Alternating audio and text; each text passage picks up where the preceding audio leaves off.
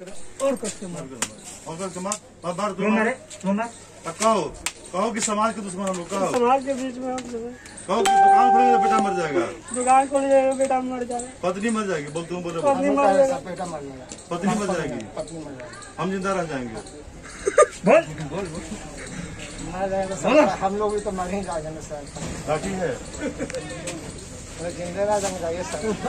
जिंदे रह जाएँगे सर ठीक है प्रेशर सर नहीं तो है। ಸರ್ रहेगा बनता